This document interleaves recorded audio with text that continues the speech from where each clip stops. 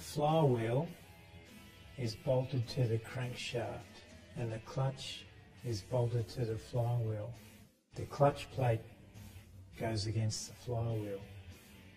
The cover assembly consists of a cover and a diaphragm. Straps are riveted to the cover and the pressure plate is riveted to the straps. The cover assembly is bolted over the clutch plate onto the flywheel. The release bearing presses on the diaphragm springs. When the release bearing is pressed down, the pressure plate lifts and allows the clutch plate to spin freely. This is when the clutch is disengaged.